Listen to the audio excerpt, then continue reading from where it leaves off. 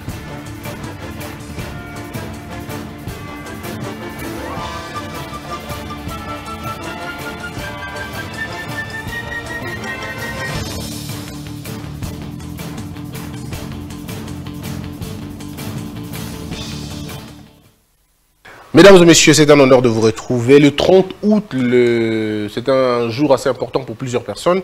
Il y a des naissances, il y a des décès. C'est une journée qui restera, je vais dire, dans les annales de plusieurs personnes. L'examen d'État, plusieurs euh, ont échoué il y a aussi ceux qui ont obtenu leur diplôme avec euh, des pourcentages assez faramineux. On le disait d'ailleurs avec les invités à l'entame de l'émission. On était en train de rire un peu euh, sur euh, le pourcentage qu'on a aujourd'hui. Il y en a qui en font un tas de problèmes puisqu'ils n'ont pas, pas obtenu leur diplôme. Ça fait mal, c'est vrai. On en parlera tout à l'heure. Le sondage, vous le savez, cette guerre de sondage, entre le sondage et les bilans, le peuple congolais vote quoi exactement? Est-ce qu'il vote sondage ou il vote bilan?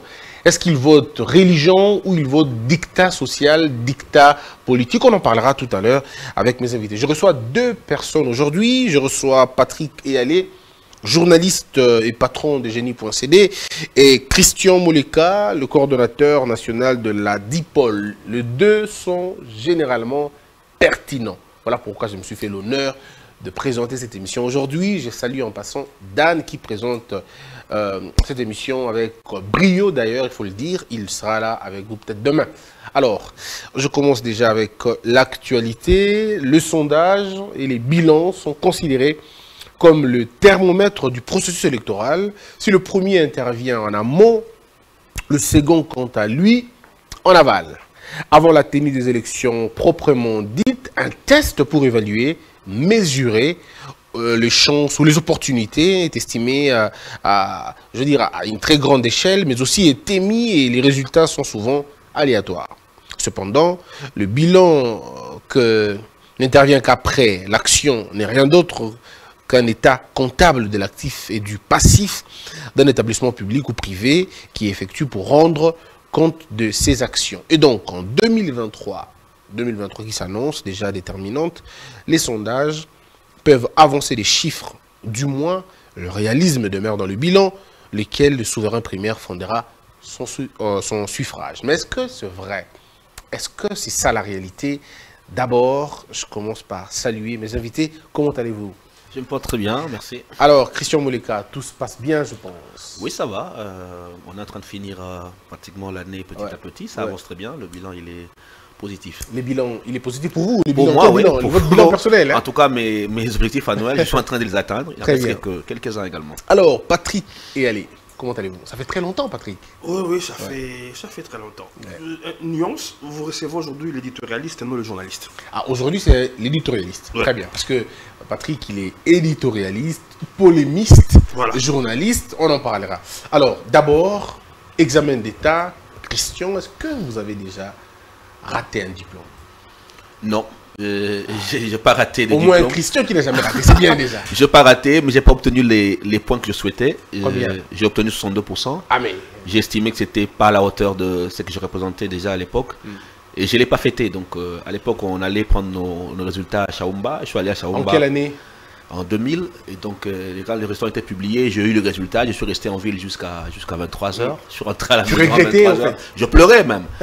parce que j'estimais que ce n'était pas le, les points que je méritais. En 2000. en 2000. Comment ça se passait? Des gros cahiers là? C'était des gros cartons C'était des journaux, des journaux, euh, qu'on achetait généralement à Chaoumba vers ses copains. Mm. Les distributeurs achetaient, ils venaient dans les coins lire.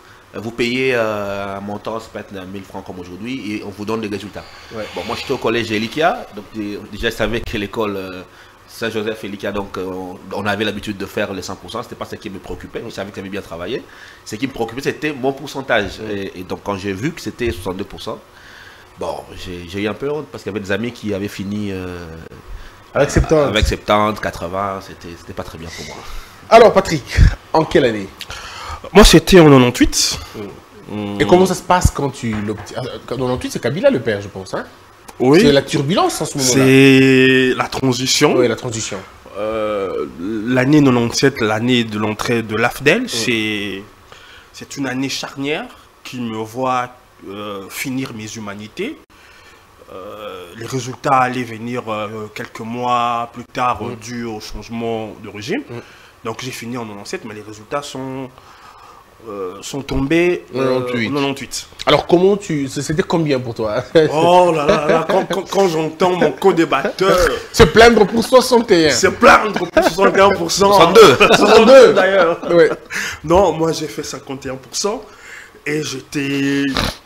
J'étais mal, non seulement à cause de, points que j'ai fait, mais euh, à cause de, l'échec euh, de certains amis. Hmm parce qu'il euh, y avait des amis avec qui j'étais proche qui n'avaient euh, pas eu euh, l'examen d'État. J'avais donc une double tristesse. D'abord, tes points sont maigres. D'abord, mes points étaient. Et tes compagnons n'ont pas eu ce point-là. Et apprendre que les condisciples n'avaient pas eu de diplôme, ça m'avait enlevé tout sentiment de bonheur. J'ai passé ce moment c'était un moment sobre. J'ai pas eu. Euh, il n'y a pas eu de scène de liesse. Pas eu de réjouissance. Pas, de Bon, j'en profite pour féliciter mon petit-neveu, Emmanuel Kamsolo, qui a eu 65%.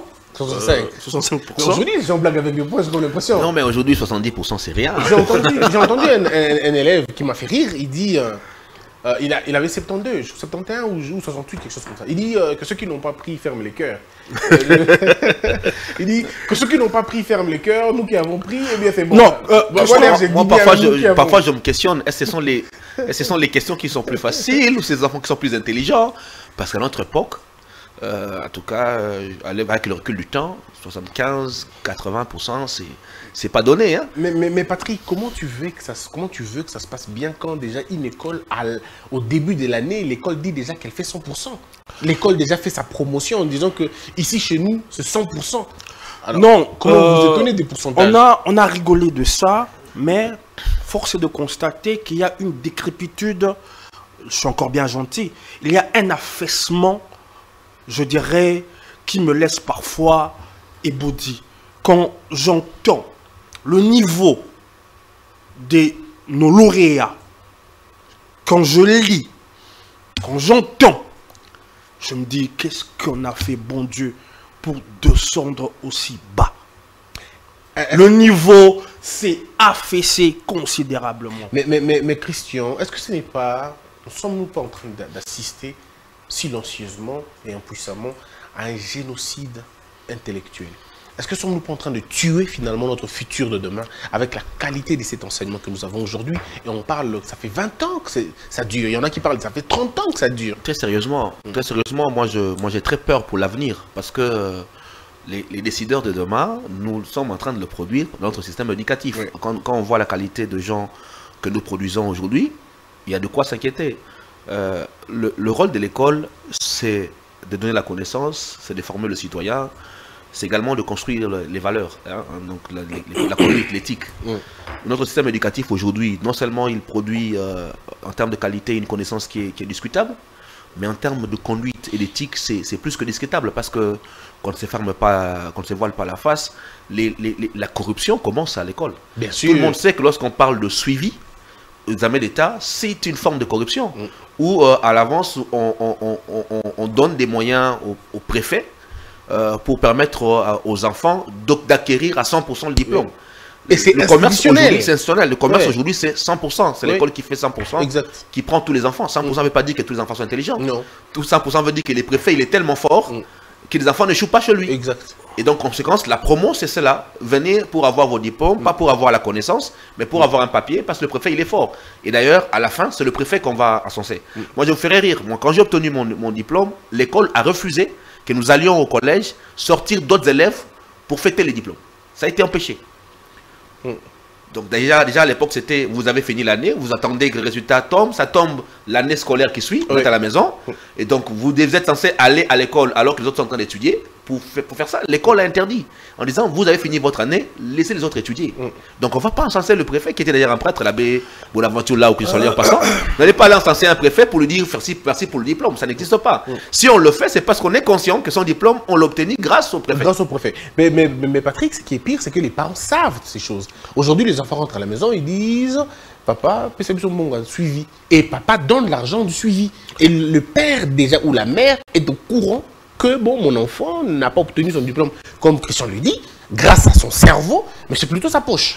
Ce qui est encore, euh, je dirais, davantage euh, scandaleux, et le chef de l'État avait, avait eu à faire ce diagnostic, j'ai été surpris que certaines personnes aient contesté ce diagnostic. Ben, on l'a attaqué C'est le niveau des enseignants.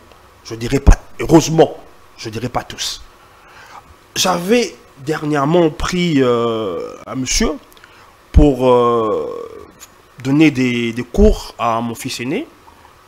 Un jour, j'étais là assis, en train de suivre euh, ce monsieur faire la répétition de ce que mon fils avait appris à l'école, je me suis dit, bon Dieu, je me suis rappelé de la célérité avec laquelle, quand je fus élève, on me faisait répéter à la maison.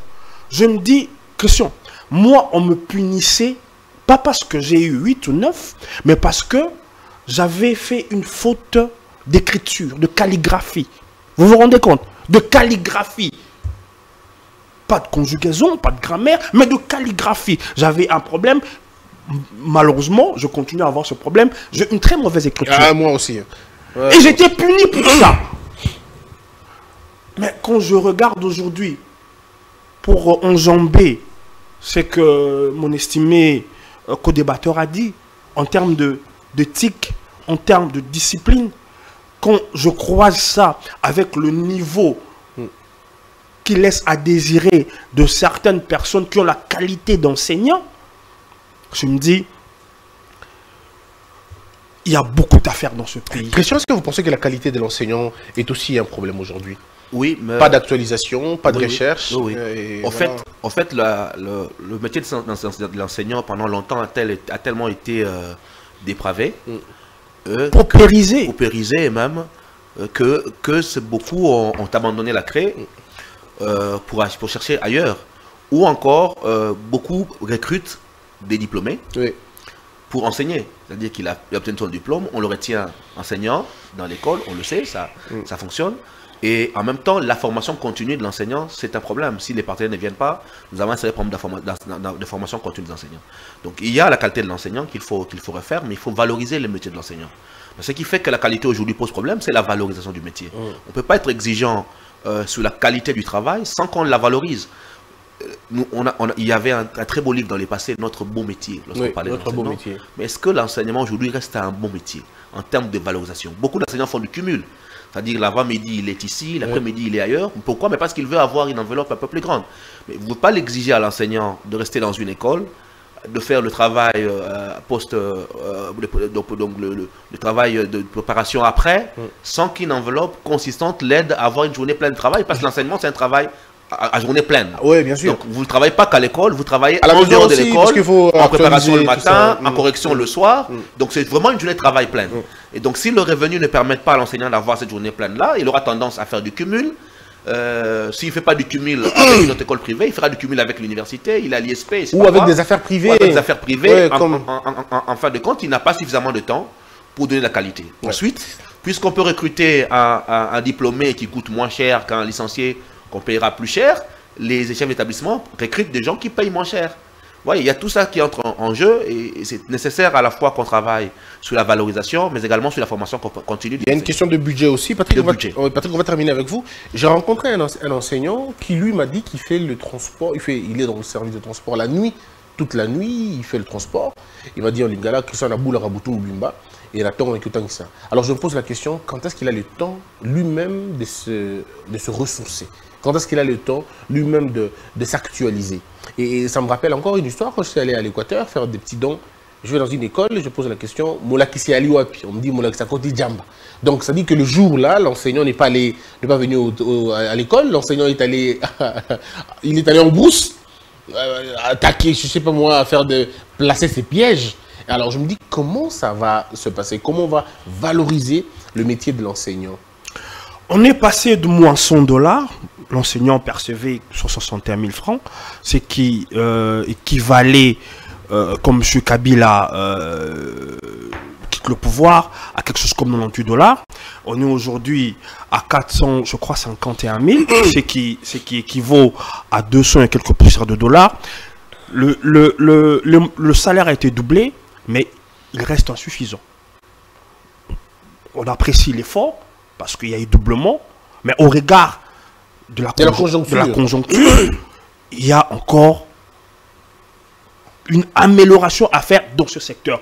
Donc j'invite le gouvernement à ne pas euh, dire qu'on a atteint euh, le nirvana. À faire plus. Il faut, il faut, il, faut faire plus. Très bien. Mais, mais, mais, mais c'est euh, une conjonction de beaucoup de choses qu'il faille, je dirais, reformer. Quand vous avez raconté votre anecdote, vous l'avez raconté en lingala. Et je pense que, parce que l'histoire s'est passée en lingala, se pose la question aujourd'hui de la langue de formation. Est-ce que faut-il que l'on continue à former, à enseigner avec la langue française? C'est des questions qu'il faille se poser. Moi, je suis aujourd'hui, euh, mes, enfants, mes loulous, euh, ils sont dans une école où ils sont obligés d'arriver à 7h, euh, je dirais même pas 7h, à 6h55. C'est-à-dire, on a conservé des us et coutumes qu'on a pris des Belges. Sans tenir compte de la dégradation de route ou de nos réalités sur terrain. Sans tenir compte de beaucoup de choses. La démographie a changé, les conditions de vie ont changé, le trafic a changé, l'évolution même du monde est en perpétuel changement. Mais nous, dans l'enseignement, on reste statique. Les horaires sont les mêmes. Le même livre. Les, ce monde émerveillé. Les, livres, les manuels scolaires n'ont pas changé. Donc, on n'a pas changé les habitudes, alors que le monde ne cesse, seconde après seconde, d'évoluer. C'est quand même triste, on en parlera un autre jour. Je crois qu'on va parler euh, un jour euh, essentiellement sur l'éducation, mais là, il n'était pas question. On a pris 15 minutes pour en parler. Mesdames et messieurs, nous parlons maintenant actualité. Alors, vous l'avez certainement entendu, tout au début, le sondage. Alors, Christian Moleka, lui, il est euh, politiste. Il est donc politologue. Il comprend des questions politiques scientifiquement, mais aussi euh, en termes de terrain. Patrick Ealé, lui, c'est un analyste politique euh, de grande envergure. Il est éditorialiste, il est journaliste, donc c'est quelqu'un, c'est un historien de l'histoire, je veux dire de la politique. On va essayer un peu d'en parler sur la question. Le sondage, scientifiquement, ça représente quoi exactement? Mais aussi les crédits des maisons de sondage. Ça sert absolument à quoi le sondage? Est-ce révélateur ou provocateur? On en parlera. Mais aussi la question de, bilan. Comment est-ce que l'on définit scientifiquement les bilans?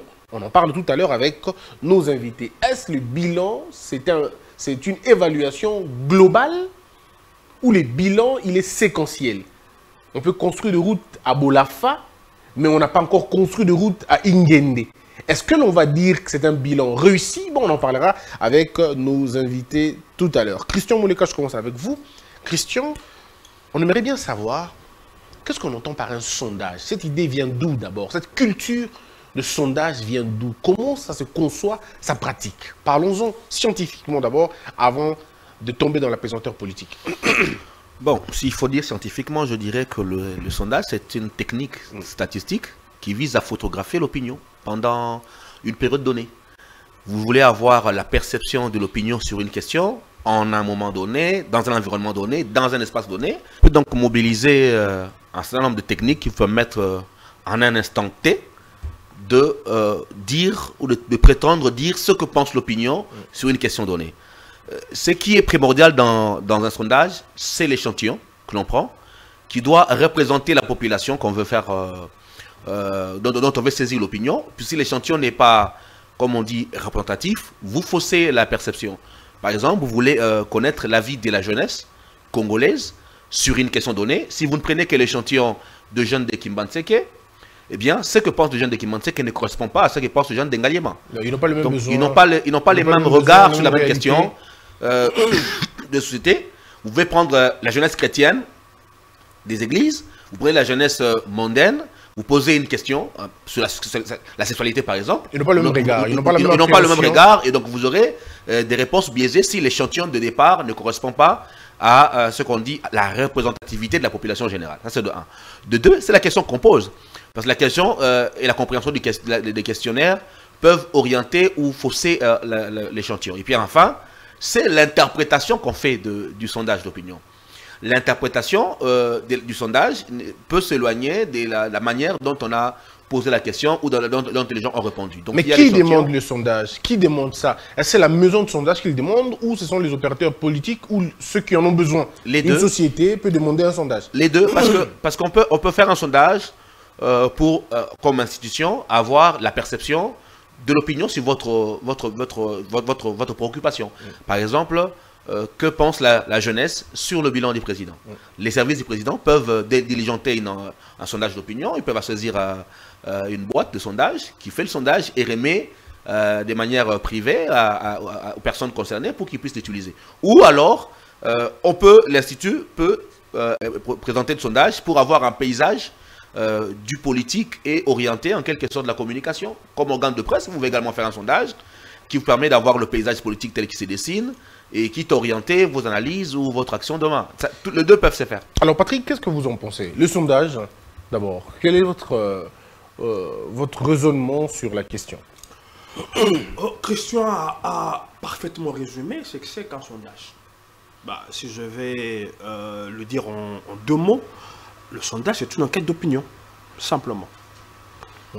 Et il y a plusieurs euh, outils pour ce faire. Euh, plus récemment, pour mettre le pied dans le plat, plus récemment, le, réseau social Twitter est un outil assez, je dirais, usité de par euh, plusieurs démocraties pour faire cette enquête d'opinion.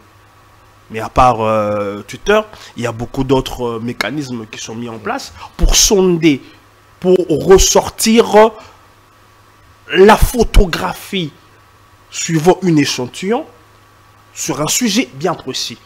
Et là où je rejoins encore Christian, tout dépend de la question. Et la, compréhension. la compréhension de personnes euh, qu'on pose la question. Mais, mais Donc, si, bien le sondage et les bilans, c'est quoi? Parce que généralement, on fait le lien entre, surtout quand il s'agit de la politique, on fait généralement le lien, lien entre sondage et bilan. Mais vous, bilan, c'est quoi un bilan? C'est deux concepts diamétralement opposés. C'est deux concepts diamétralement opposés. Il n'y a aucune intersection entre les deux concepts je, veux, je vais euh, essayer de faire euh, un parallélisme, bien que nous sommes dans des, dans des situations assez différentes. Vous prenez des, pays de vieille démocratie comme la France, les États-Unis, la Grande-Bretagne, partout autre. Vous avez des, des, des, électeurs qui votent en fonction du parti. Vous avez les conservateurs d'un côté, les travaillistes de l'autre. Vous avez euh, les républicains d'un côté, euh, le parti euh, démocrate de l'autre. C'est-à-dire, hormis le bilan, positif ou négatif, ces électeurs-là votent parti. C'est comme des fanatiques de football. Que, Manchester perde ou pas, ben, il votera toujours Manchester. Vous avez fait une illustration qui va à merveille avec ce que je suis en train de dire. Donc c'est pour dire, si vous me permettez, que le bilan n'est pas forcément lié au choix de, de, l'électeur. Je dis bien forcément. À certains égards, il y a des électeurs qui font le choix en fonction du bilan. Or, le bilan, c'est quoi? C'est le résultat que l'on a obtenu après un temps précis où l'on a mené des actions précises. Ok. Alors, hmm, mais, maintenant, oui. une nuance encore pour le bilan. Hmm. Le bilan est fait du passif et, des actifs. Hmm. C'est-à-dire, les bilans est fait de choses qui ont marché, qui ont fonctionné. Et celles qui n'ont pas fonctionné. Et celles qui n'ont pas fonctionné. Et maintenant, il revient dans, dans le débat qui est nôtre, à l'électeur de se faire sa religion en fonction parfois des attentes de l'électeur. Mm. Mais encore là, mais encore là, une autre nuance. Parce que vous avez parlé, vous avez fait le lien avec euh, euh, le fanatique, euh, bien que le, terme fanatique me met un peu mal à l'aise. Bon, disons le supporter. Parce que j'entends souvent les gens dire, non, son bilan sera, ça va constituer son talon d'Achille. Question, ce qui peut être positif pour moi peut ne pas l'être pour... Euh, pour Christian Pour M. Christian. J'ai parlé tout à l'heure de la de, du hausse, de la hausse euh, des salaires des enseignants. Je trouve ça minime. Mais un enseignant qui est chez moi à Bassankoussou, qui touche aujourd'hui 400 et quelques mille francs. Mais à Bassankoussou, 400 et quelques mille francs. Mais c'est beaucoup d'argent. Oui, c'est beaucoup d'argent, mais vous avez, par exemple, il y a les docteurs, comment il s'appelle encore, j'oublie les noms, il a dit ça s'appelle une illusion monétaire, ça veut dire que c'est un match nul. Ben, on vous ajoute euh, un peu de plus de votre salaire, mais le prix aussi grimpe un peu. Lui, il appelle ça un match nul. Il dit c'est une illusion monétaire. Comme M. Kabila quitte le pouvoir, le dollar est à 165 000 francs. Aujourd'hui, le dollar est à 200 000 francs. Il y a des prix des biens et services qui ont grimpé. Mais faire croire que tous les prix des biens et services ont pris de l'ascenseur, c'est totalement faux. Je continue à payer mon transport pour venir de chez moi euh, en ville à 1000 francs, par exemple. Je vois des gens qui, euh, dans un élan de, de saltimbanque, ramène des choses pour dire que non, ceci coûtait autant. D'ailleurs, ce n'est pas un justificatif. Prenez par exemple euh, le, un, pays comme la Grande-Bretagne, où il y a une paralysie suite à l'inflation. La hausse est généralisée. C'est un fait. Mais je ne veux pas ici aujourd'hui dédouaner euh, le régime actuel pour dire que non, voilà, il y a une hausse On reviendra pour entrer en politique. Mais dire, on va rester sur les questions mais dire que l'ajustement à la hausse des prix serait un leurre, serait, serait de la poudre de perlimpinpin, si je puis dire. Non, c'est fort de café. Pourquoi? Je vais rester dans, l'exemple de l'enseignant qui touchait 98 dollars sous Kabila, qui en touche aujourd'hui 200 la majoration est de 100%, vous n'allez pas me dire que les prix des biens et services dans ces pays ont galopé du double. Vous n'allez pas me le dire. Nous vivons tous au Congo. Il y a eu certes majoration des, prix des biens et services, mais pas du double. Pas du double. Là, je ne suis qu'à l'enseignant. Mais il y a d'autres euh, corps de métier qui ont vu les salaires et même les primes être triplés. Donc, c'est un peu pour dire que le bilan est en fonction, et je dirais, est en fonction de celui à qui ça profite ou à qui ça ne profite pas. Alors Patrick, euh, pardon, Christian, je voudrais qu'on en parle sur le bilan d'abord. Euh, quelle est l'idée que l'on donne souvent du bilan? Scientifiquement, ça représente quoi le bilan? Bon, je dirais que le bilan, il est à la fois un acte comptable, un élément de rédevabilité. Un acte comptable parce que, comme, comme Patrick l'a soulevé, c'est le résultat qu'on obtient à la fin d'une action. Hum. Voilà, j'ai été élu pour un mandat, je, euh, je réalisais un certain nombre d'actions, et donc le résultat final de tout ce que je réalisais constitue mon bilan, à la fois au passif comme au actif. Un élément de révélabilité parce que lorsque je tiens un mandat, je le tiens du peuple et je suis obligé de rendre compte à la population de ce que j'ai fait pour lui, pour le mandat qu'il m'a donné. Donc le bilan est un élément de révélabilité pour le décideur qui est tenu de rendre compte de sa gestion euh, en étape ou à la fin de son mandat. Alors je vous donne un cas précis.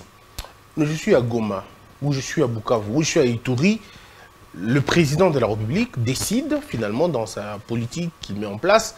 Et donc on se réveille, il n'y a plus de guerre, tout va bien, tout est calme, tout est bien. N'est-ce pas un bon signe de l'autre côté? Mais est-ce que ça impacte la vie de celui qui vit à Bassan-Koussou, qui lui n'a jamais connu des crépitements de balles? Ce besoin le plus important, c'est la route, la santé, ainsi de suite. Il est vrai que gagner la guerre, c'est une très bonne chose. Du point de vue national, c'est bien, ça renferme la, fierté. Mais est-ce que ça le touche lui directement dans sa vie, dans sa vie? Alors dans ces conditions, comment, comment dire que les bilans un bilan, un élément de bilan peut impacter tout le monde dans le même degré. L'électorat n'est pas un tout homogène. L'électorat, c'est une sorte de cristallisation des composites sociaux. Mm. Et donc, lorsqu'on prend le pouvoir, on ne répond pas également à tout l'électorat. Exact. On identifie euh, dans, le, dans le prisme social quelles sont les niches de vos électeurs. C'est comme ça que ça fonctionne ailleurs. Par exemple, je suis un pouvoir de gauche, et donc je mets en place des politiques de gauche, soutien à au, salariat, augmentation de salaire, temps de travail, qui touchent les secteurs ouvriers qui constituent mon niche électorale. Je suis un libéral, J'arrive au pouvoir, je mets en place des politiques qui touchent mon niche électorale, qui est le patronat, je libéralise, je, fais une réforme de retraite, je, mets la flexibilité sur le temps de travail. C'est parce qu'au départ, on a une niche électorale sur laquelle on travaille. Si on veut travailler sur les agriculteurs, parce qu'on veut sur le Congo profond, je mets en priorité l'agriculture, je mets en priorité les, les, RDA, les routes des aides agricoles, parce que je sais que mon niche électorale est celui-là. Alors, c'est pas un tout On ne peut pas, répondre à un tout, et c'est impossible dans un État de répondre à tout le monde pendant 5 ans. C'est la politique qu'on met en place qui est orientée vers un niche électoral, une niche électorale qu'on a identifiée en amont, et qui vise à capter un électorat donné. Parce qu'on ne fera pas, euh, dans un délai de 5 ans, même si on vous donnait 10 ans, toucher tous les électeurs. Alors, en ce moment-là, le bilan lui-même, il faut qu'il soit perçu autrement, parce que dans le langage commun ici, bilan, ça veut dire la, la réussite total et global de tous les problèmes. Vous entendez ceux de Massine à dire le bilan n'a pas marché. Vous dites pourquoi Il dit un bilan négatif. Pourquoi non? Parce que nous n'avons pas d'électricité chez nous, nous n'avons pas d'eau, il y a l'insécurité, il y a le Koulouna. Si vous entendez ceux des Bandal disent par exemple, non, non, nous ça va un peu, le Koulouna a baissé, ainsi de suite. Est-ce que déjà à ce niveau-là, faut-il expliquer convenablement ce qu'est un bilan avant de s'offrir à des débats? Il faut déjà dès le départ bien proposer l'offre politique. Parce que la grande, le grand problème que nous avons au Congo, c'est la manière dont on pose l'offre politique. Nos acteurs font de la surenchère. Avant de prendre le pouvoir, je fais de la surenchère politique en, proposant ou en, disant aux Congolais que je règle tout. Vous voyez, et nous avons construit euh, pendant très longtemps ce discours où les acteurs politiques se prennent pour des démioches. Moi, dès qu'ils arrivent au pouvoir, tout change. Et donc, nous avons construit dans la tête de l'opinion cette perception que le pouvoir change tout. Le pouvoir ne peut pas changer tout. Parce que sinon, il n'y a plus de développement. Le développement est un horizon. Même si vous allez aux États-Unis, on vous dira qu'il y a un nouveau président qui va arriver, qui mettra en place de nouvelles réformes, et pourtant, c'est un pays développé. Ouais, donc il y, a, Biden qui met en place aujourd'hui des mécanismes dans un pays développé. Il va partir, un autre viendra, il trouvera encore des chantiers non, non encore à élaborer pour continuer. Donc on ne peut pas, dans, la temporalité du pouvoir politique, dire qu'on règle tout. C'est l'offre politique chez nous qui est mal construite, c'est le discours politique en amont qui prépare ce genre de, compréhension de l'enjeu politique et qui, à, la fin, se transforme en, vrai blocage pour les acteurs politiques eux-mêmes. Est-ce qu'aujourd'hui, vous ne trouvez pas que l'UDPS, par exemple, a créé son propre, son propre cimetière, si, tu, si vous voulez, ses propres lois de son propre jugement. Puisque quand l'UDPS n'était pas au pouvoir, l'UDPS pensait que la guerre à l'Est, c'était une fabrique de, de M. Kabila, et que l'enrichissement illicite, c'était une volonté, encore une fois, des Kabila, et que tout ce qu'il y avait comme problème, c'était M. Kabila. Aujourd'hui, l'UDPS est au pouvoir, on lui rétorque les mêmes attaques. Est-ce que vous trouvez que, comme Christian l'a dit, ce l'homme politique congolais qui crée son propre problème, son propre malheur à partir de son discours de « je vais tout faire, je vais tout donner ». De Est-ce que ce n'est pas aussi cette, euh, ces rêveries-là qu'on a données aux gens, finalement? Alors, on vous tient en fonction de ce que vous avez dit. La politique est un monde, euh, par essence, de démagogie il y a beaucoup de démagogie, il y a beaucoup de démagogues. Là, vous dérangez Christian, il ne va pas comme ça, il va vous le, vous graciner dans sa, dans, sa science. Non, il n'a pas tort. non, le, le, politicien est un, est, un, est un marchand de rêve. Il vend, il vend, un rêve. Le problème, c'est qu'il y a une différence entre un rêve et une illusion. Le rêve, il peut être atteignable. L'illusion, non. Très bien. Allez-y, Patrick. Donc, je, je, je disais, il y a, y, a, y a, beaucoup de démagogie. Pas simplement ici au Congo. Partout. D'ailleurs, dans le monde le, politicien, un peu si je peux reprendre la formule, euh, cette belle formule, il y a une espèce de, je dirais, de, euh, de fourre-tout entre l'atteinte d'un rêve et la, et, la poursuite d'une illusion. Et la poursuite d'une illusion. Parfois, on se perd entre les deux. Dans les récriminations que faisait l'UDPS, je pense et je continue à penser que ces récriminations était tout sauf erroné. Était tout sauf erroné. Là n'est pas le problème.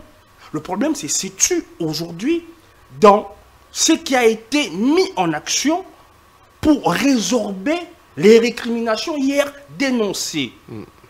On assiste aujourd'hui, malheureusement, à une continuité des problèmes jadis dénoncés avec raison fort à propos.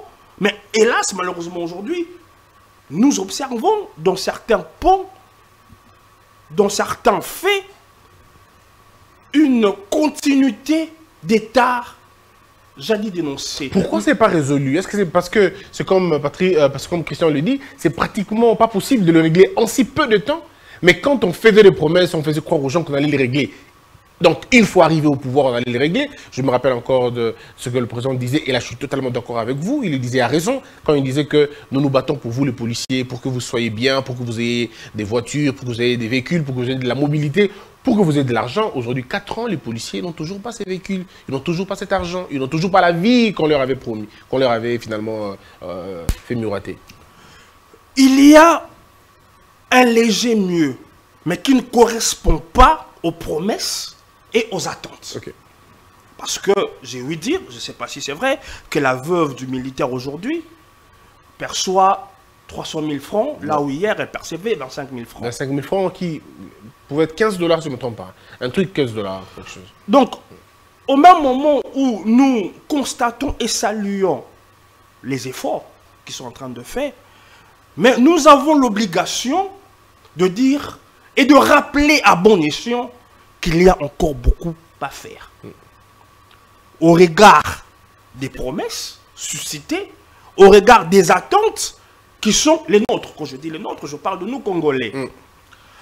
Maintenant, je vais euh, un peu, euh, je dirais, pas faire l'avocat du diable, mais essayer d'expliquer un peu euh, la réalité dans laquelle se trouve le pouvoir actuel. Je vais utiliser une expression lingala où on dit fanda kate okoye besika. Je vais imaginer ça, expliquer le pourquoi. Je peux arriver chez vous, je, trouve que vous avez une, belle maison, ce qui est le cas, je parle des locaux, mais je, je, vois que c'est en train de sointer. Je me dis, mais bon sang, Christian est d'une négligence. Il me suffit qu'on me prête ces locaux en deux, trois clics. Je vais régler cette situation. Voyez-vous, j'ai une prétention. Cette prétention, je l'ai suite à un regard, je dirais, euh, qui n'est pas euh, global, à un regard superficiel. Mais quand on me met devant le fait, je peux me rendre compte qu'il ne suffit pas juste de mettre du mastic là. Je me rends compte que c'est toute la structure de la, de la toiture qui est abîmée qu'il faut remplacer. C'est-à-dire, j'ai mésestimé, j'ai sous-estimé les dégâts. C'est l'incapacité de la lecture politique finalement. On ne peut avoir qu'une lecture politique réelle des faits quand on est aux commandes, quand on est aux manettes. C'est ainsi que je me souviens, le chef de l'État a dit la corruption est plus, je dirais, a atteint des proportions plus que ce qu'on ne plus que ce qu'on soupçonnait. On savait qu'il y avait la corruption. Mais pas à ce niveau. L'ampleur était... On euh, savait qu'il y avait des choses qui n'étaient pas... Qui, qui, ne respectaient pas l'orthodoxie.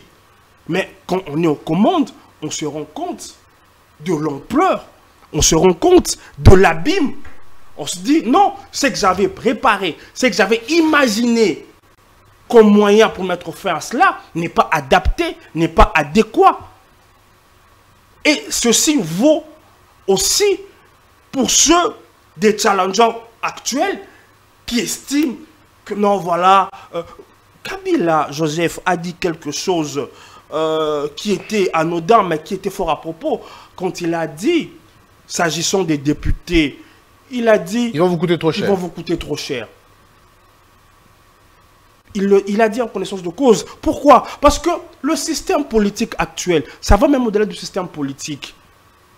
La société congolaise, dans son microcosme de la politique telle qu'elle fonctionne, mon ami, je te dis, elle est gangrénée. Les prises d'opposition sont faites non en fonction de conviction, mais en fonction de ce qu'on met sur la table.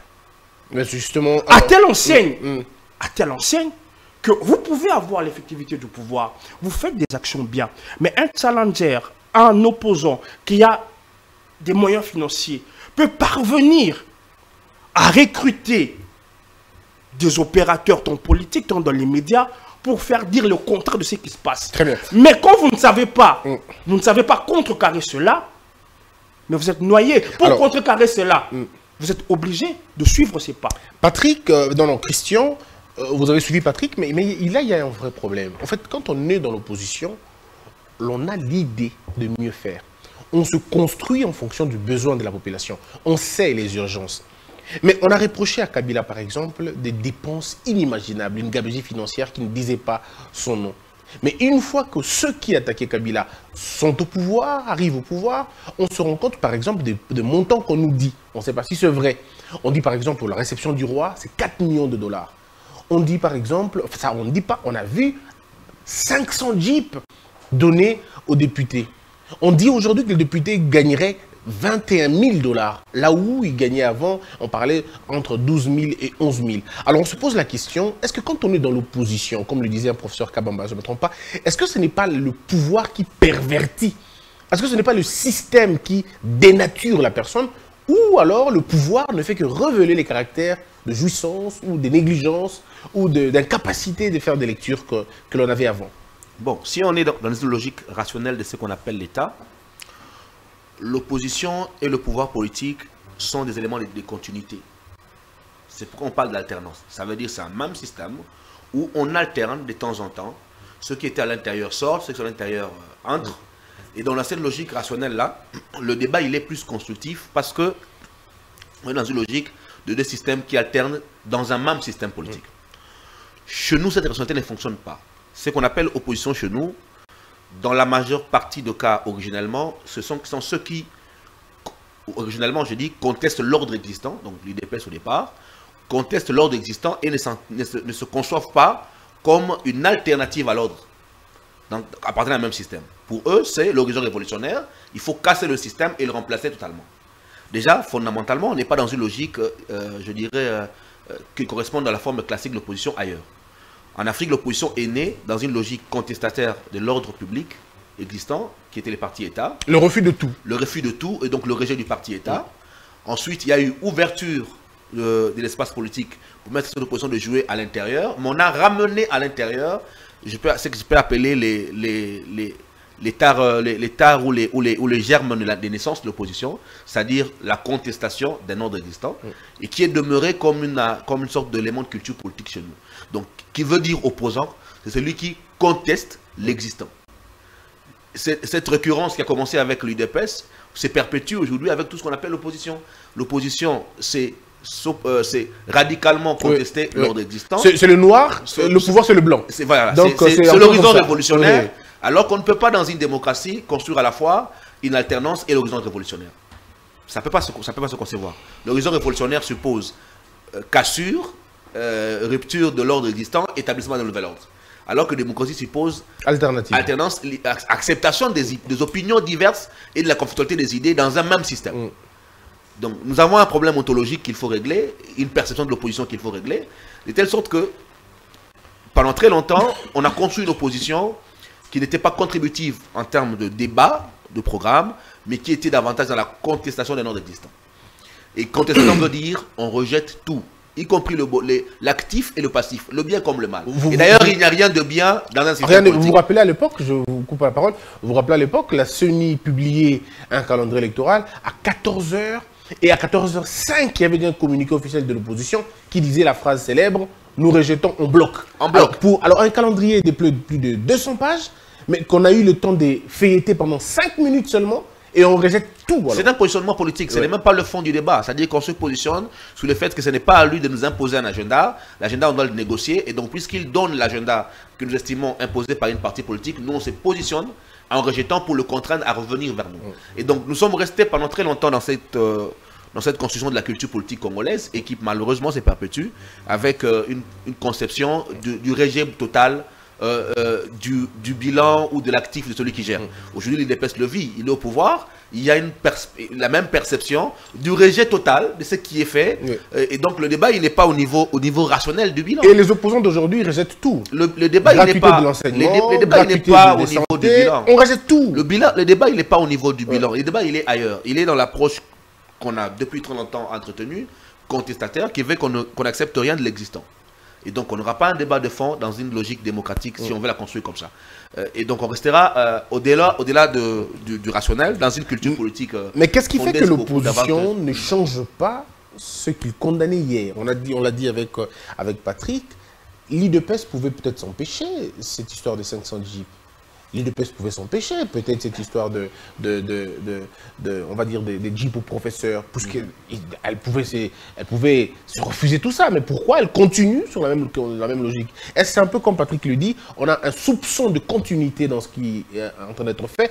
Est-ce que c'est parce que le système, il est tellement dur qu'on ne peut pas le briser carrément Qu'est-ce qui se passe exactement? Le problème, il est plus profond que ça. Moi, je dirais le problème, c'est au niveau de valeur. Est-ce que nous avons, nous, portons nous-mêmes les valeurs que nous prêchons? Nous avons, est-ce que nos acteurs politiques sont eux-mêmes convaincus des valeurs qu'ils sont en train de prêcher?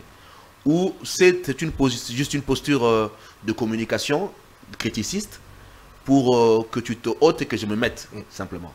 Tant qu'on n'aura pas des hommes imbus de valeurs qu'ils sont en train même de porter, c'est-à-dire lorsque je dis euh, état de droit, je suis le premier à, à me l'imposer avec la rigueur, avant de l'imposer aux autres, Tant qu'on n'aura pas des acteurs emprunts eux-mêmes des valeurs qu'ils sont en train de défendre, nous aurons les mêmes problèmes. Nous avons du mal à opérationnaliser nos idéologies. Ça veut dire, sur des papiers, vous avez des beaux textes. Euh, nous ne sommes même pas socialistes, ainsi de suite. Mais lorsqu'il faut opérationnaliser ce que vous avez écrit en niveau d'action politique, il y a un déficit énorme parce que les acteurs eux-mêmes ne sont pas porteurs des vertus qu'ils ont écrites dans leurs documents et qu'ils veulent voir demain. Ah, les députés nous avons donc euh, une, volonté, certes, d'arriver au pouvoir. Ça, c'est très fort chez nous l'ambition d'arriver au pouvoir. Mais lorsque nous arrivons au pouvoir, les valeurs que nous avions euh, que n'avions pas portées puisque c'est écrit dans un document, nous ne la portons pas avec nous et donc nous ne le réalisons pas. Patrick, comment expliquez-vous que les députés qui aujourd'hui seraient en train de gagner 21 000 euh, dollars, aucun député n'en parle, aucun député ne le dit, aucun député ne le défend, mais c'est plutôt l'extérieur qui en parle. Hier, c'était encore euh, quelqu'un qui racontait ça dans la rue, et là, c'est Martin Fayou qui prend le relais, qui confirme le fait qu'il y a 21 de, 20 000, 21 000 dollars. Mais alors que SID a un député qui, lui, n'a même pas dit ça, personne ne l'a dit. Comment on va comprendre ça? Et, aussi, si vous pouvez nous dire, comment un député est incapable de nous dire combien il gagne? Pourquoi ça serait un mystère de savoir les émoluments d'un député? Vous savez, tout à l'heure, quand vous posez la question à question, vous avez parlé du système. Si le système était, était euh, je dirais, euh, difficile à, dissoudre, mm. je crois que s'il n'y a pas de révolution, ce système perdurera. Perdurera. C'est-à-dire les acteurs du système sont liés. Ils se tiennent par la barbichette. On peut beau se dire ce que l'on voudra dire pour se faire bonne conscience, le prochain qui remplacera la même chose. le président actuel sera pris dans, dans les mêmes conditions. Ok. Et nous, en son temps, l'a prophétisé, Kabila en disant de l'homme congolais qui n'a pas pu transformer, savait de quoi il parlait ce n'est qu'à travers le partenariat FCC Cash que les gens ont pu comprendre l'effectivité du vrai pouvoir. Le vrai pouvoir se trouve où? À l'Assemblée nationale. C'est là où se situe le vrai pouvoir. C'est là où se situe le relais du pouvoir du chef de l'État. Et quand vous ne maîtrisez pas l'Assemblée nationale, qui est un parmi tant d'élevés du pouvoir, mais l'Assemblée nationale est, dans le système politique actuel, le plus grand des leviers. Quand vous n'avez pas sa maîtrise, on fait tomber un ministre aujourd'hui, on fait tomber un ministre le lendemain, on fait tomber tout le gouvernement et vous êtes paralysé. Dans une arme de chantage. De chantage. et pour ce faire, il vous oblige à perdurer dans le système qui a été mis en place. Ou pour voter des lois, vous devez entretenir les députés. Vous ne le faites pas, vous êtes à la merci des blocus. Or, tout doit passer par là. La loi de finances, les réformes, tout passe par l'Assemblée nationale. C'est là où il y a le cœur du pouvoir. C'est ainsi que cette espèce de chantage est entretenu le prochain qui va arriver, ah, ah, projetons-nous. Il y a des élections, le président actuel euh, est, battu, il y a un autre président qui a une majorité précaire. où il n'a même pas de majorité. Vous, vous, regardez les débats actuellement en France, où Macron a, a aujourd'hui eu une majorité, je dirais, précaire, comme je viens de l'expliquer. Et on a promis à Macron de souffrir. Et il est en train de le vivre. Mais là-bas, c'est n'est pas euh, en forme de chantage pécuniaire, un peu comme euh, euh, on le voit ici. Là-bas, c'est tout autre. Mais c'est pour vous montrer là où se situe le pouvoir. Mais aujourd'hui, dans le contexte actuel, quand je me dis projetons-nous, vous avez un autre président, mais qui n'a pas de majorité. Ou qui a une majorité précaire. Il fonctionne comment? Il ne va pas compter sur la bonne foi des députés. Mais vous avez parlé de la révolution. Pourquoi, pourquoi on ne révolutionne pas les choses carrément? Pourquoi on ne brise pas? Pourquoi lorsque le chef de l'État avait l'occasion de dissoudre l'Assemblée, pourquoi il ne l'avait pas fait? C'était une belle occasion qu'il a ratée à mon avis. C'était une belle occasion qu'il avait là, qu'il a ratée. Mais, mais, rien ne disait qu'en dissolvant et qu'en organise, organisant les élections dans les délais euh, échu pour euh, les prochaines élections qu'il allait avoir une majorité. Tout se résume dans le diagnostic qu'a fait Christian, les valeurs. Quelles sont les valeurs que nous portons Nous, en tant que Congolais, nous, en tant qu'acteurs politiques? Ce n'est pas, ce n'est pas une question. Euh, parfois, j'ai posé une question à quelqu'un. Il a dit non. moi, je voterai un président qui a, qui, a, qui a, des diplômes. Je dis, ce n'est pas les diplômes qui acquièrent les valeurs, qui, qui, donnent les valeurs. Ben, euh, nous souffrons. Les anti-valeurs sont plus nous souffrons. de, vrais diplômés d'ailleurs. Hein, nous souffrons aujourd'hui, toutes catégories confondues. Clergé, hum. pasteurs, enseignants, professeurs, docteurs. Nous souffrons tous de ce problème des valeurs. Hum. Nous avons, je dirais, euh, vendu vendu. Parfois, je, parfois quand, tu, quand tu vois l'argent que l'on donne aux uns et aux autres pour prendre position vis-à-vis d'un sujet, parfois des sujets majeurs, tu te dis comment cette personne peut rabaisser sa dignité juste pour 2, 3, 4 billets de 100 dollars. Très bien. Il renie ses propres convictions même. Encore qu'il faut qu'il ait ses convictions. Ah.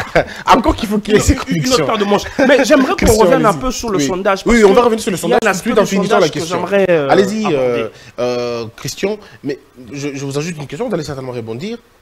L'enrichissement illicite est facile. Dans un État sérieux, vous le savez, c'est de monstres finalement dans un pays. Et les gens combattent ça, que vous soyez de l'opposition ou que vous soyez de la majorité. On combat l'enrichissement illicite. Mais chez nous, l'enrichissement illicite et l'enrichissement facile, c'est perçu comme un don de Dieu. C'est perçu, comme une, chance.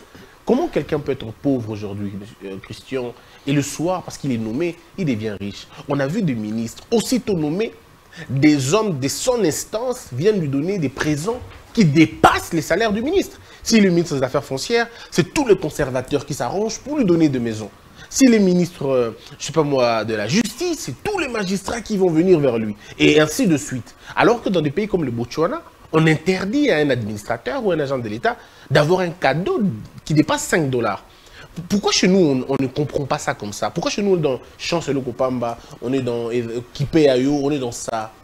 Mais c'est parce que, comme on, on l'a déjà dit, euh, aux Aïrs, déjà à l'époque, on parlait du mal zaïrois. Et le mal, c'était un mal moral lorsqu'on a créé l'association des moralistes zaïrois, les gens parlaient du mal moral zaïrois. Notre problème, c'est au niveau de la moralité. Et ensuite, de la perception de ce qu'on appelle la réussite dans la vie. Si vous appelez les gens aujourd'hui, vous dites, euh, demandez aux Congolais moyens, c'est quoi réussir pour vous? Et alors, il dirait avoir beaucoup d'argent. Avoir beaucoup d'argent, avoir des grandes maisons, une grande maison, faire les, un voilà, véhicule, voilà. C'est des référents culturels euh, que nous avons construits sur la réussite. C'est pas euh, me perfectionner, me réaliser dans mon potentiel, c'est de pas avoir un prix euh, pulsaire. Vous voyez, nous n'avons pas des référents qui permettent d'être constructifs. Nous avons des référents matérialistes et, dans, dans, dans, certains environnements où on a des référents matérialistes qui se fondent euh, essentiellement sur la détention de l'avoir et pas de moins en moins du savoir et de l'être. Nous sommes dans l'avoir, dans une culture de l'avoir, c'est l'enrichissement, la, voiture, l'embonpoint, se bien s'habiller, bien coiffer, qui, construit notre, notre système de valeurs. Le périssable, le précaire. Nous sommes dans, un système de valeurs qui, qui, se fonde essentiellement sur la voie. Et donc, euh, l'étant, l'être, n'a plus de valeur dans notre société aujourd'hui. Quand vous vous présentez, euh, même pour épouser une fille, la première chose que les parents veulent savoir, qu'est-ce qu'il fait dans la vie? Parce qu'à la fin, on va avoir une facture à 10 000 ou 8 000 dollars. Voyez, euh, si vous descendez d'une belle voiture, vous êtes bien habillé, euh, nous sommes dans la culture de l'apparence, du folklore, on vous respecte parce que vous êtes bien habillé. Le même Christian Boussembe se met en culotte euh, polo, se met devant un agent de l'État, bah, vous êtes méprisé, tout de suite. Hein. On ne vous considère pas. Mettez-vous dans, dans, une, dans une file devant un salle de spectacle ou un restaurant, et essayez de voir comment on traite les gens. On traite sur base de l'apparat, de tel qu'on voit. Ce n'est qu'après avoir découvert qui on est qu'on dit « Naïba quitté mon dit Parce qu'on s'était fié sur l'apparat. Cette culture-là du folklore, euh, de, de, du matériel, du capitalisme BA de la jouissance, c'est qui est en train de fonder notre temps aujourd'hui. Notre problème, il est là, il est culturel. Et donc, quand vous prenez le pouvoir, ce culturel apparaît en vous. D'ailleurs, le premier à vous le rappeler, c'est votre famille. Le jour où on vous nomme, tous les membres de votre famille vous se réunissent, ils euh, vous disent euh, Nzambe a Pamboli Biso.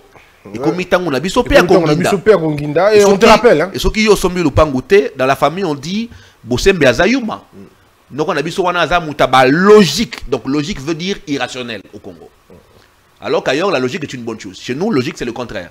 Azamutaba, logique, à côté gouvernement, bima tanda koute yuma akubongana vite. Donc, culturellement, comme c'était, nous prenons des antivaleurs. Donc, les Yankeza, oyo, à côté, à Bouki, à Télémissi plan. Il y en a qui a à côté, à Banoma, à Télémissi plan. Après, et d'ailleurs, même notre musique, en sens, c'est prêtre qui sont en fait des qui des voleurs, qui volent, qui, voilà. Mais c'est ça notre société fondamentalement. Et donc l'homme politique n'est que, n'est que, n'est que l'excroissance des sociétés. Donc on n'est pas, il, ne vient pas ex nihilo, il vient d'une société. Et donc l'homme politique venant de la société dans laquelle nous sommes tous bernés, baignés dans, ces valeurs-là, il ne peut que les reproduire au pouvoir. Si je peux, je peux enjamber, c'est fort, c'est si fort, euh, fort bien dit. Regardez dans les moments de campagne. Moi je me souviens, euh, j'ai un ami qui me présente à quelqu'un qui dit Ah, vous bien été à l'écranate, vas à Le gars dit Ah, le kabatouba, mais c'est Massanga. Ben c'est clair. C'est clair. c'est clair. Donc, honorable Solola. Ouais, Solola, oh Solola. Papa social, maman, maman social. En fait, il te dit même que Marambuto le bien, bien, bien. Mais Solola. Solola. Nous sommes dans un engrenage. Du mal. Nous sommes dans un engrenage que nous avons, que nous avons hérité de Mobutu. Mobutu ayant vu ce qu'il a sémé, ayant vu, euh, je dirais, euh, sa magie se transformer en quelque chose qui allait consumer. Mobutu a vu ça? Mobutu commençait à, à dire à ses collaborateurs, Toiba. Mais le mal était déjà fait. Cette culture était déjà ancrée. Très bien. malheureusement, malheureusement, cette culture a aujourd'hui la peau dure. Je vais vous expliquer le piège dans lequel se retrouve et pourra se retrouver le prochain régime. Oui, parce qu'il faut parler du sondage. Hein. Oui. Si vous n'êtes pas fort financièrement, politiquement au Congo, vous n'existez pas. Vous n'allez pas exister. Parce que le culturel a été construit sur le matériel, sur l'avoir, malheureusement. Vous pouvez être muni des bonnes intentions, de toute la bonne volonté. Mais si votre pouvoir n'est pas financièrement fort, vous allez être dilué par les puissances d'argent libano, pakistanais, qui ont de relais dans l'armée, qui ont de relais dans le monde économique. Dans tous les secteurs, il n'y en a pas un seul secteur qui manque. J'aimerais bien appuyer. En fait, c'est parce que je suis d'accord avec vous en partie, mais c'est parce que nous avons également au Congo la faiblesse de vouloir faire des choses à court terme. Ça veut dire, si vous voulez faire des choses à long terme, il faut travailler sur la culture politique du peuple congolais. C'est-à-dire, il faut, il faut éduquer les citoyens congolais. Il faut un travail de fond pour amener les citoyens à comprendre ce quoi le vote, pourquoi il vote et en quoi ça impacte sa vie. Mais c'est un travail de long haleine. Malheureusement, Congo, nous, nous, avons. Mais, nous, on travaille, nous, nous, travaillons essentiellement sur le court terme. Oui, tout de suite. Donc voilà, 2023 c'est demain. La balle est l'eau. Donc, euh, comme nous travaillons sur le court terme, sur le court terme, vous ne réussirez pas à faire cela. Il, faut, il faut travailler dans le long terme, échanger. Euh, les schèmes, comme on dit en pour les schèmes des représentations de la population, pour qu'ils comprennent les choses. Mesdames et messieurs, nous allons terminer cette émission. Il ne nous reste plus que 25 minutes, alors on va parler du sondage maintenant. Et vous le savez très bien, euh, je l'ai dit à, à Christian, je l'ai dit aussi à Patrick, je me suis amusé personnellement à publier, à retuter un sondage fait par un, par un groupe américain. Et la faiblesse de ce régime, il faut le dire, il n'exploite pas le sondage quand, ça, quand c'est en l'air avantage. Mm. Si c'était les autres, ils allaient le faire déjà, on ne dormirait pas aujourd'hui. Et là, il y a deux sondages qui ont été faits qui donnaient le pouvoir en place aux favoris. Et ils ont expliqué que ce n'est pas forcément à cause du bilan, mais plutôt parce qu'il y a une certaine indécision du côté de l'opposition et ça peut, ça peut les gêner du fait qu'il y aura un seul tour et qu'on aura un président, même s'il va être euh, le moins élu, mais par rapport à ce qui va se passer à l'opposition. Et donc, c'est tombé. Moi, ça m'intéresse. Les chiffres, je prends, je le relais. Et les politiques organisent leur propre sondage, contrairement, parce qu'ils veulent contredire Boussembe qui a dit ça. Alors, on dit, on va faire un sondage. Et quand on fait un sondage, le sondage qu'ils font eux-mêmes me réconforte dans ma position, alors que je n'étais même pas l'auteur du, sondage. Et ça a créé tout ce que ça a créé là. D'ailleurs, Twitter n'est vraiment pas un, réseau qu'il faut, une plateforme sérieuse. Donc, il y a beaucoup de, il y a beaucoup de là-bas, il y a beaucoup de tchitékélistes là-bas. On est tombé sur des prismes tribaux, alors que vous pouvez élever les débats. Alors, parlons-en de ce sondage. Est-ce que le sondage, il est il est réel Est-ce qu'il est vrai d'abord? Est-ce qu'il est crédible le sondage? Quand on fait un sondage, est-ce ça veut forcément dire que vous allez gagner? Parce qu'on a vu aussi avec, euh, Donald Trump et Hillary Clinton. Hillary Clinton, tous les sondages lui donnaient, euh, déjà qu'elle était gagnante, mais après, elle a perdu. Dans tous les pays du monde, les sondages sont des hosties à risque politique. Ce n'est pas une science exacte. C'est pour ça qu'on parle de perception. Euh, parce que l'opinion, elle n'est jamais figée. L'opinion est évolutive. Lorsqu'on fait un sondage, comme je l'ai dit, on l'inscrit dans un temps donné, dans un temps T et dans un espace donné. Or, la perception évolue selon que l'actualité change. Mm. Si nous nous réveillons demain, euh, Bounagan a repris, le 1-23 dépose les armes, et que vous allez à, Goma, vous demandez un sondage sur le président Félix, vous aurez une perception différente que si Goma tombe demain. Mm. Vous voyez, les événements politiques saillants changent sensiblement la perception de la population sur des questions euh, politiques. La cassure d'un pont peut changer la donne. Ça peut changer la donne. Et donc, la prise de, de l'opinion est liée au temps, est liée à l'espace, ça c'est de un. Et de deux, dans beaucoup de pays, les, les, sondages, les vrais, on le fait au sortir de zone. Mm. C'est-à-dire, on, là, on saisit le comportement électoral des citoyens. Dès qu'il sort de l'urne et vous dit qu'il a voté, vous avez le comportement électoral. Des sondages à distance, avant le, avant le scrutin, ils sont discutables parce que euh, non seulement ils ne euh, permettent pas de saisir la photographie réelle du rapport de force des candidats au moment des élections, mais également il peut évoluer tenant compte de l'actualité, des événements saillants. C'est pourquoi il toujours conseillé d'avoir plusieurs sondages de manière continue. C'est-à-dire vous êtes aujourd'hui, vous faites dans trois mois, dans trois mois, dans trois mois, et vous avez une perception structurelle dans le temps pour voir les évolutions. Mais pas uniquement un seul sondage et vous arrêtez uniquement sur ça. Parce que ça peut vous déconstruire. Et pour celui qui est annoncé gagnant, et pour celui qui est annoncé perdant. Parce que ceux qui pensent qu'ils vont gagner, pas de sondage le, rassure, ils peuvent baisser les points en disant voilà, les, nous avons déjà le, les résultats qu'il nous faut. Et puis, Raila Oding a été annoncé standard, gagnant dans le sondage. Hein. et puis au dernier moment, c'est William Roto qui, qui annoncé. Donc il y, a, ça qu'il faut prendre en compte. Et puis, euh, deuxièmement, c'est qu'un support comme Twitter, si vous prenez déjà le taux de pénétration Internet du Congo, c'est 40%. Twitter, c'est une, euh, euh, je dirais pas l'élite, mais c'est un réseau Congo où on retrouve essentiellement les intellectuels. C'est pas, c'était un peu avant, pas avant aussi, Christian. C'est pas aussi populaire. Il faut lire ce qui pas aussi populaire. Twitter écrit aujourd'hui. C'est vrai qu'il y a, aujourd'hui, de plus en plus de gens qui, qui, quittent Facebook, qui viennent à Twitter. Mais euh, la Facebookisation de Twitter. La Facebookisation de, de, Twitter. Mais jusqu'à récemment, Twitter était euh, le réseau de l'élite. Exact. Aujourd'hui, il y a euh, on a des médias locaux avaient commencé à faire des, des sondages sur Twitter et tout le monde s'y oui, aventuré. Et, donc, vous avez un réseau qui ne correspond pas aujourd'hui au regard de l'élite. Mais en même temps, vous, quel est l'échantillon qu'on saisit? C'est ça encore le problème. L'échantillon, est-ce qu'il est représentatif des Congolais dans son ensemble? On ne sait pas, sur base de Twitter, avoir euh, scientifiquement un échantillon qui est représentatif. Parce que si vous voulez avoir, euh, admettons, les, euh, ce qu'on appelle les tranches d'âge. Comment vous faites pour avoir les différentes tranches d'âge de Congolais? Vous segmentez en âge, c'est-à-dire que vous avez les, votes, les, intentions, les, intentions des votes de 20 à 35 ans, des 35 à 40 ans, de, 60, de plus de 60 ans. Comment vous faites sur Twitter? En termes de sexe, vous voulez avoir le point de vue des femmes et des hommes, vous voulez avoir le point de vue de ceux qui sont en province, de ceux qui sont à Kinshasa, vous voulez avoir des points de vue de ceux qui, de ceux qui sont politiques et ceux qui ne sont pas politiques. L'échantillon, c'est ça. Pourquoi j'insiste sur le, fait qu'il faut euh, vraiment tenir compte de la représentation de l'échantillon. si elle n'est pas représentative dès le départ, vous aurez des données, mais qui seront faussées à la, à la langue. Même, même, alors, l'écart mais, mais, mais, mais, surprend un peu. Si vous avez euh, Tshisekedi qui a pratiquement 58%, dans plus de 4 sondages, et que vous avez euh, euh Fayoulou qui peine pour avoir 15, il, Katumbi qui a 11, il y en a qui, a 16, Kabila a 17. Cet écart, est-ce qu'il est créé par... C'est une, une création personnelle ou... Euh, comment vous, personnellement, Patrick, parce que vous vous êtes prononcé sur la question, et vous, je crois même que vous êtes en train de vous moquer de ceux-là qui se sont hasardeusement lancés dans ces jeux. Et alors, expliquez-nous votre compréhension sur la question, d'abord.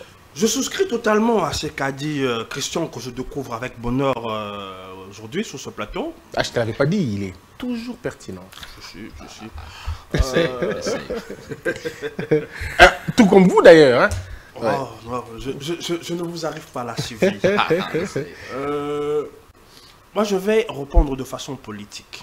Christian a été scientifique et technique. Moi, je vais aller dans, un peu dans le côté politique, dans l'analyse politique il y, a, eu une série de sondages. Et tous ces sondages donnent quasiment gagnant M. Félix Tshisekedi, dont le dernier que vous avez relayé. À la suite de cela, les personnes d'obédience de l'opposition ont organisé des sondages dans l'infime espoir de voir des résultats autres que les précédents résultats.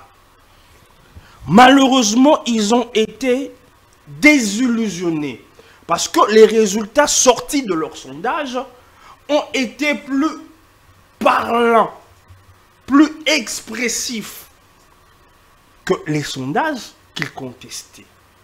Maintenant, la question à se poser, au-delà euh, de la fiabilité de ces sondages, la question à se poser, c'est pourquoi les sondages euh, faits de gauche, de droite, d'ici et d'ailleurs, donnent quasiment le même résultat.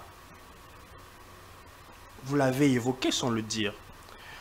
Il y a aujourd'hui, je vais prendre une expression euh, d'une personne proche de l'opposition, qui a dit il faut qu'il y ait un attelage entre toutes les forces de l'opposition. Les forces d'opposition, aujourd'hui, les plus représentatives sont les forces derrière M. Katumbi, derrière M. Fayoulou, derrière M. Kabila. Pour moi, ce sont les trois forces majeures de l'opposition. Si on, fait, on, fait, un parallèle avec le football, ils sont classés dans le chapeau A. Du côté du pouvoir, les forces représentatives, vous avez M. Tshisekedi lui-même, vous avez M. Kamere, vous avez M. Bemba, vous avez M. Bati. Maintenant, c'est que ces, ces personnes pour l'opposition ne comprennent pas. En même temps, il y a attelage. En même temps, au niveau de soi, il y a fragmentation. Parce que chaque individu n'a droit qu'à voter une et une seule fois. Que vous soyez cardinal, que vous soyez général, que vous soyez pape, devant l'urne ou devant un choix de sondage, vous n'avez qu'une voix. C'est-à-dire l'attelage qui est fait se fragmente au niveau du choix. C'est-à-dire, les partisans de Katumbi votent Katumbi. Mm. Les partisans de Fayolo votent Fayolo. Ce qui n'est pas visible quand il y a le brouhaha de l'opposition ou mis ensemble, il faut beaucoup de boucans. Ce qui est normal parce qu'ils sont dans une forme de coalition de fait. Mais aux urnes, il n'y a pas de coalition qui va tenir parce que l'élection est à un tour. L'élection est à un tour. si vous partez à 10, c'est à votre euh, à vos risques et périls. Absolument. et vous connaissant l'habitude du politicien congolais, je doute fort qu'il y ait un Genève bis je doute fort qu'il y ait une coalition qui mettra un candidat unique, comme on l'a eu, comme on devait l'avoir avec Genève. Est-ce que Mukwege ne serait-il pas le point d'intercession de tout le monde? Parce qu'il y a une opinion qui pense que Mukwege va être finalement candidat président. Je n'y crois pas personnellement, mais on ne peut pas l'exclure du moment où on a vu des rapprochements entre Matata qui veut que ce soit Mukwege, entre Fayoulou qui, dans un passé récent, euh, était très proche de lui et qui n'hésiterait pas de, lui, de, laisser à, à, M. Mukwege. Mais est-ce que lui-même, M. Mukwege, si et seulement si Mukwege, dans l'optique où il est candidat, il a l'apport d'un des candidables à fort potentiel que j'ai cité de l'opposition, soit Fayoulou, soit Katumbi, soit Kabila, s'il a le soutien de l'un d'entre eux, il devient un prétendant très sérieux. Mais tant qu'un des candidats de l'opposition n'est pas allié ou ne, ou ne font pas un binôme avec un des candidats forts de l'opposition, ils auront le même résultat. Parce que l'électorat congolais est un électorat, je dirais, autant c'est un électorat, n'ayons pas peur de mots, tribal. La donne tribale, on peut beau le dire, mais c'est un fait. Les candidats ont un fief naturel qu'ils puisent au départ de leur tribu, de leur province ou de leur espace linguistique. Maintenant, pour ratisser large, il leur faut des soutiens ou un soutien d'un candidat fort d'un autre espace linguistique ou tribal que votre propre candidature. C'est là où il y a, au-delà d'autres considérations, euh, je dirais, d'ordre politique et d'ordre euh, en termes de résultats, c'est là où il y a il y a une forme de, de recurrence dans le choix qui donne gagnant dit. Parce que, au-delà de toute autre considération, qu'on le veuille ou pas, M. Tshisekedi reste quelqu'un de populaire qui bénéficie de l'apport des alliés avec qui il est en train de cheminer. Et en ce sens, vous n'allez pas réduire à portion congrue le, report de voix que peut apporter M. Bimba, M. Kamere, M. Bati, pourquoi même pas M. Mbosso, M. Ngobila, ce qui fait défaut aux candidats de l'opposition. issus de l'opposition. Christian, avez-vous la même analyse? Voyez-vous les choses de la même façon quand on sait que tous les gouverneurs sont quasiment des gouverneurs de l'Union sacrée et qu'ils battront campagne au nom et pour le compte de, du, du, président de la République. Comment ça va se passer selon vous et ces sondages Bon, l'élection présidentielle, c'est la rencontre d'un homme avec le peuple lui-même en face. On peut avoir de relais qui peuvent participer à cela, mais c'est d'abord la rencontre d'un homme avec le peuple. Ça, c'est de un. De deux, euh, en sciences politiques, on dit que euh, pour voter, le citoyen commence par identifier un ennemi. On commence par identifier la personne qu'on déteste, qu'on ne veut pas. Qu'on ne veut pas. Ce qu'on appelle le vote contre. Oui, oui, le vote contre. Ensuite, on fait l'effet miroir.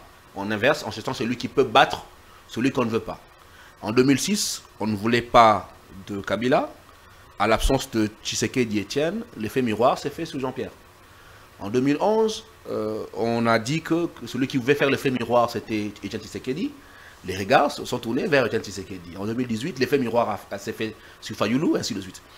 Euh, et donc, en 2023, l'effet miroir va également s'appliquer. Tout ce qu'ils vont détester, je au niveau émotionnel, hein, donc pas au sens euh, de haïr, au sens de ne pas aimer euh, la, candidature de Félix, chercheront l'effet miroir dans celui qui peut incarner de manière euh, forte l'alternance. Or, là où il a raison, c'est qu'aujourd'hui, vous avez une dispersion de voix qui ne donne pas un profil fort face à face au président Félix. Parce que vous avez un Katumbi qui est un bastion, vous avez un Fayoulou qui est un bastion, il y a un Kabila à côté, il y a Matata qui, qui se pointe. Et donc cette dispersion n'est pas... De grâce, euh, euh, je, pense pas... que le, je pense que le nom de Matata n'est pas adéquat à la liste. Euh. c'est ça, c'est sa liste. Parce qu'il y a Kabound aussi, c'est sa liste. Peut-être bah, bah également. Bah, donc vous avez... Pardon, vous avez vu hier Kabound avait... La foule les militants avaient claironné, disant qu'ils allaient envahir les rues de Kinshasa. Mais ils ont envahi eh ben, Mais pourtant, Kabound avait prétendu euh, que dans l'élection, que Félix était, euh, je dirais... Paul je, vous laisse continuer. Donc cette dispersion euh, ne, ne, favorisera pas la mm. cristallisation de l'opinion sur un, sur un, mm. challenger de taille qui peut et, faire et, et, la carte Mukwege, Christian? C'est une possibilité de, de, cristallisation, puisque euh, il a il a l'avantage de n'avoir pas géré jusque-là, d'incarner une opinion, une voix consciente pour le pays, parce qu'il s'est toujours levé euh, pour euh, la question de la sécurité à l'Est, donc une voix consciente, une autorité euh, morale au vrai sens du, terme, hein. donc une, conscience morale qui peut être portée. Ensuite, il a l'avantage d'avoir un réseau international assez fort. C'est un prix Nobel. C'est un prix Nobel, c'est un rayonnement international. c'est quelqu'un de l'Est.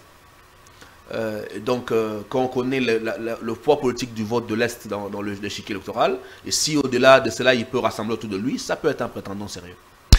On a terminé notre débat d'aujourd'hui. Vous avez à vous deux le dernier mot à chacun. Il nous reste 5 minutes, de deux, on termine. Patrick, on commence avec vous. Avec quoi voulez-vous qu'on termine cette émission? Bon, j'aimerais faire, euh, j'aimerais un peu parler de la CENI, parce que récemment, j'ai entendu beaucoup euh, des contestations euh, qui n'ont de raison ou de, je dirais, de cohérence que l'incohérence des personnes qui contestent ce qui est en train de se faire. Je vais vous ramener euh, quelques mois en avant. On a, on a lu un tweet, je ne l'aimerais pas citer l'auteur de tweet. Urgent, urgent, la CENI a refusé l'affichage bureau de vote par bureau de vote. Je ne sais pas qu'est-ce qui m'a pris. J'ai cru à ce tweet. Et heureusement, j'ai pris le soin de vérifier si l'urgentier, celui qui a l'habitude euh, de, de, commencer ce truc par urgent, disait pour une fois vrai. Après vérification, je me suis rendu compte que son affirmation était pour une énième fois faux. La CENI, dans la loi qui a été votée, prévoit, et monsieur euh, Denis Kadima l'a dit de manière assez claire, affichage des résultats bureau de vote par bureau de vote. Récemment, récemment, comme on tente de préparer le lit de la contestation, en plantant les décors d'une tricherie qui se mettrait en place, je peux, je peux euh, comprendre ces personnes, je peux comprendre leur procès d'intention.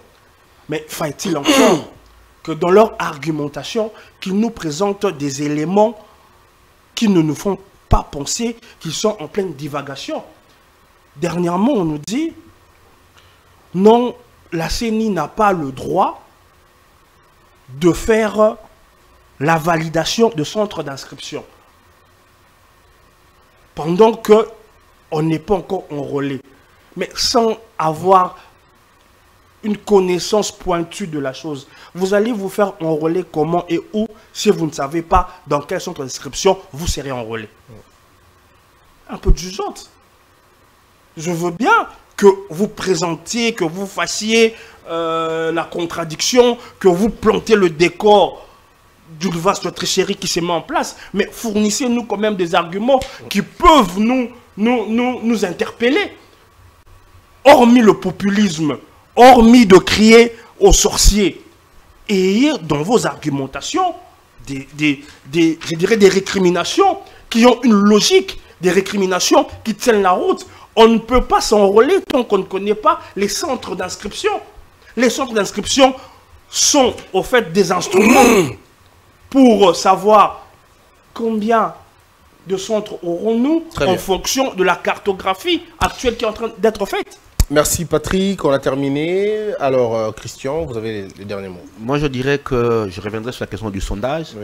L'usage du sondage en politique est, très, très à risque, tant pour euh, celui qui annonçait gagnant que celui qui annonçait perdant.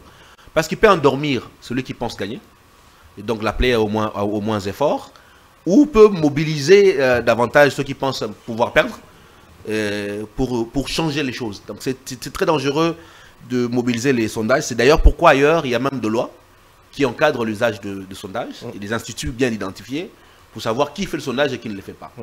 Bon, chez nous, il y a Bercy, il y a Target. Qui, fait le sondage, mais il faut, une loi pour encadrer ces problèmes de sondage. Il y a le point notamment, notamment en termes de, en termes de période préélectorale, comment encadrer. Il faut une loi pour encadrer ces, ces phénomènes-là. Parce que ça peut être, comme je le dis, productif ou contre-productif. On l'a vu en politique, par exemple, au Kenya voisin, les sondages annonçaient Raila Odinga gagnant jusqu'au dernier moment et William Ruto est passé. En France, ça s'est fait également. Aux États-unis, ça s'est fait également. Non, non, en euh, France, le sondage a été respecté. Macron a toujours cette fois, cette fois, oui, mais avant, non. Euh, la, grande surprise du second tour avec, avec Le Pen n'a pas été prévue par le sondage mm. en, 2000 avec Chirac.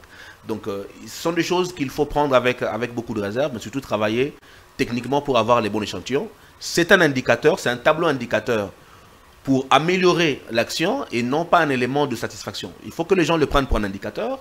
Par exemple, j'ai fait le sondage, quelle est la portion de l'opinion euh, qui s'identifie à moi? Et donc, quand je ferai demain mon offre politique, je veux l'inscrire dans cette niche-là, qui, me, qui correspond à, mon lectorat, pour le toucher.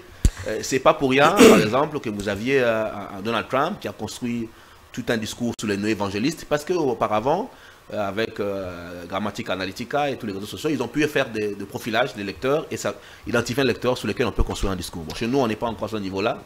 Il faut que les politiques travaillent un peu plus. Ce fut un bonheur pour moi de vous recevoir, vous deux. Je crois, je dois le dire. Je suis très heureux, Patrick. Euh, et puis Christian, vous faire une très belle émission. C'est pour moi un très bon retour à la télé avec une émission de grande envergure. Merci beaucoup. Vous êtes à la maison, vous avez envie de passer chez nous. Eh bien, vous le savez toujours. Les numéros sont affichés sous le bas de l'écran. Écrivez-nous, dites-nous ce que vous faites. C'est nous qui allons vous rappeler pour que vous puissiez participer chez nous. Que la peur quitte nos esprits et que Dieu bénisse la RDC.